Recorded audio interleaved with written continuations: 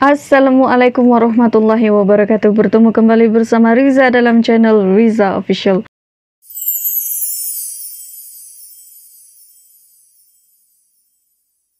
Untuk kawan-kawan yang baru pertama kali gabung dalam channel Riza Official, terima kasih sangat-sangat sudah klik video ini. Jangan lupa untuk like, comment, share, dan subscribe channel Riza Official. Dan jangan lupa untuk turn on notification juga supaya kamu tidak ketinggalan dengan video-video yang akan Riza upload. Riza akan meneruskan konten reaction Riza lagi dengan mereaksi sebuah video tentang Masjid Al-Jabbar atau juga dikenal sebagai Masjid Terapung yang berada di Jawa Barat yang baru saja diresmikan pada Desember 2022. Terima kasih sangat-sangat kepada yang sudah request Riza untuk react ini video. Begitu banyak sekali request-request yang Riza dapat untuk react tentang masjid tersebut, tentang kemegahan Masjid Al-Jabbar. So, sedikit info yang Riza tahu tentang masjid ini. Masjid ini memakan waktu selama tujuh tahun untuk selesai sepenuhnya. Guys, sama-sama kita tengok bagaimanakah kemegahan Masjid Al-Jabbar. Enjoy watching and let's skip. Oke? Okay? Tangis haru Ridwan Kamil. Bapak Ridwan Kamil yang um, desain masjid ini ini kan? Gubernur Jawa Barat.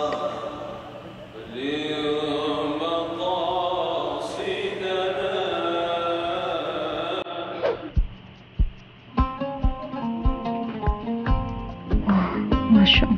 Di kawasan Gede Bage Bandung yang planningnya merupakan cikal bakal dari area lokasi unik desainnya. Teknopolis pada 30 Desember 2022 kemarin telah diresmikan Masjid Raya Al Wah, tepat hari Jumat 30 Desember konsepnya masjid terapung. Desain Gubernur Jawa Barat Ridwan Kamil ini dengan segala keunikan, kemegahan, dan kecanggihannya diharapkan tidak hanya menjadi ikon nasional saja tapi juga internasional. Dengan nilai proyek sebesar 1 triliun, masjid ini diharapkan menjadi tempat memobilisasi kekuatan umat. Selain tempat ibadah, juga diharapkan menjadi tempat dakwah dan fungsi pendidikan. Insya Allah. Al-Jabar diambil dari Asma'ul Husna yang artinya jat yang maha memaksa. Dengan struktur baja, masjid ini didesain dengan mengambil rumus matematika berupa tiga dimensi.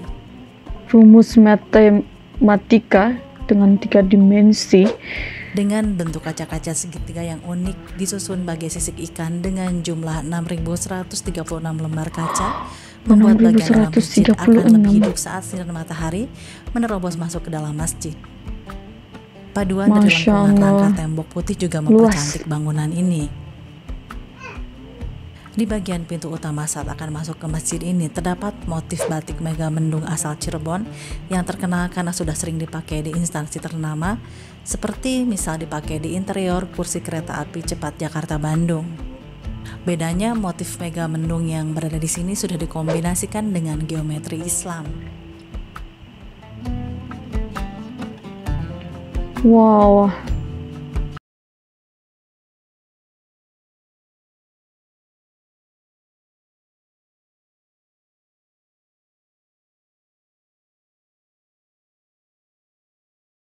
Di bagian dalam dari transisi masjid ada mezanin, yaitu balkon tempat ibadah bagi para wanita.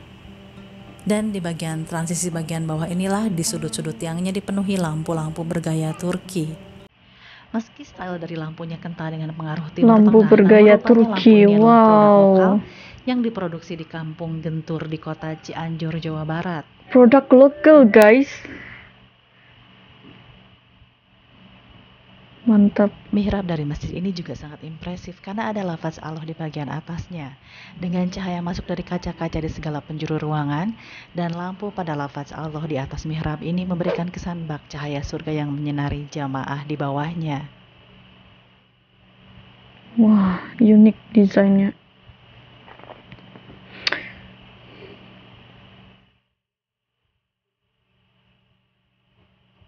Sementara di bagian tembok dari tempat imam sendiri ada ukiran berwarna tembaga dengan penerangan cahaya instalasi kuning yang memberikan nuansa gradasi keemasan. Ukiran Asmaul Husna. karya seni ini mengingatkan akan nuansa kerajaan dinding Mesir.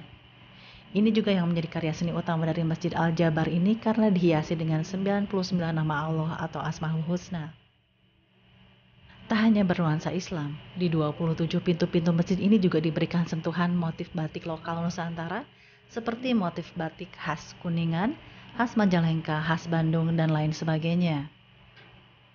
Meski lampu buatan lokal, namun karpet masjid ini berasal dari Turki dengan warna dominan biru cerah dengan sentuhan kuning mustard dan tambahan biru tua menambah kesan segar. Dengan pola geometri Islam yang tentunya sudah diberi sentuhan motif lokal. Kapitnya dari Tidak Turki, guys. lain yang biasanya dipasang di atas tembok-tembok masjid. AC di sini diinstal secara vertikal dengan tinggi di atas kepala manusia, Wow. sehingga tidak perlu khawatir kepanasan saat sedang beribadah. Tiang-tiang ini juga mempunyai desain bagian atas yang berupa kubah marmer yang mengelilingi ruangan ibadah utama. Tentunya selain menambah nilai estetika juga multifungsi karena dijadikan juga sebagai tempat penyimpanan Al-Quran. Masjid yang berkapasitas 50.000 orang ini terdiri dari bangunan utama, sementara di bagian lantai bawahnya terdapat museum dan di luarnya terdapat area plaza alun-alun yang wilayah koridor-koridornya nantinya bisa digunakan sebagai kegiatan Wah. ekonomis, misal bazar. Berbagai fasilitas yang ada.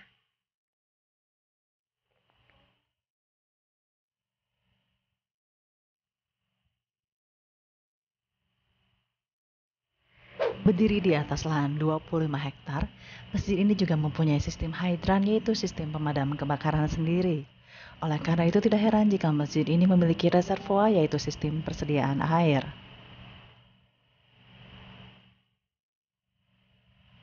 Sementara dari keseluruhan masjid ini dibangun dengan empat komponen. Komponen pertama sebagai tempat ibadah, komponen kedua adalah sebagai museum, Di bawah masjid ini ada museum futuristik interaktif yang isinya tentang sejarah Rasulullah serta sejarah masuknya Islam di Jawa Barat. Dan tak hanya itu nanti juga ada informasi tentang masuknya Islam di Nusantara. Wah, Museum ini juga diharapkan mempunyai fitur interaktif dan tampilan yang canggih seperti museum di negara seperti semisal Museum Dubai agar semua orang mau tertarik dan belajar tentang sejarah Islam.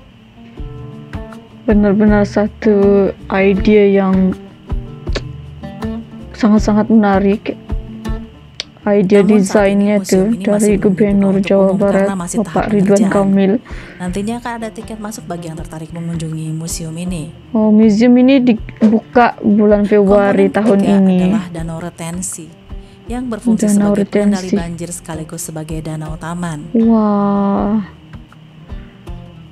Untuk komponen keempat, taman dan kawasan wisata religi.